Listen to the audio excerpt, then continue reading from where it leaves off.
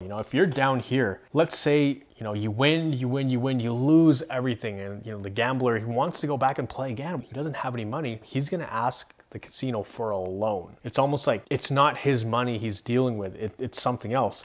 For us in recovery, a lot of times this can be supplements. What happened with me was I was relying a lot on supplements just to keep me afloat. I'm not saying to stop any medication you're taking. If you are taking medication from a doctor, continue taking that. I'm just saying that there were supplements that I was relying on to get me to recovery. And when I was relying on them, they would give me energy, then I would increase and increase, and I crashed even harder. So it's almost like I lost my energy, plus I lost the energy that the supplements were giving me. So I crashed even harder and dug myself in a hole. Supplements, it's almost like borrowed energy. It's not real, but imagine if you're struggling with supplements, imagine if we took those supplements away, how bad you would crash right now. So don't rely on supplements if you are constantly over pushing because you're only digging yourself a deeper and deeper hole.